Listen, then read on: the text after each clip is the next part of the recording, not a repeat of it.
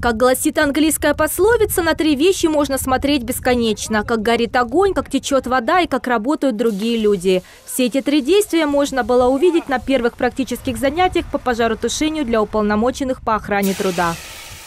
Мы собрались коллективом общественных уполномоченных с разных площадок, с разных структурных подразделений. К нам приехали э, представители Сайхала, Судачнинского ГОКа, да, Судачного.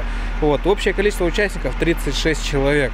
Вот. Ну и, соответственно, столько же огнетушителей для того, чтобы э, уполномоченные могли на практическом таком вот э, мероприятии, да, э, посмотреть, э, как долго работает огнетушитель, вообще какими огнетушителями можно потушить определенный объем огня, да, чем отличаются огнетушители пенные, порошковые, углекислотные, да, как, как они воздействуют на очаги пожара и так далее. Вот такие вот вопросы как раз вот рассматривают на таких вот практических обучениях.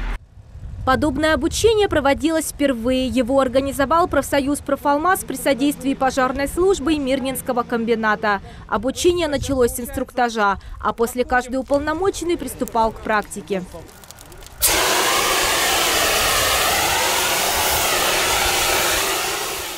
Ну, во-первых, это обучение полезно тем, что все люди руками собственными это все пробуют, испытывают это, этот мандраж, даже первое использование Э, огнетушителями. Потому что на, на рабочих местах ну, не все знают даже, как ими пользоваться.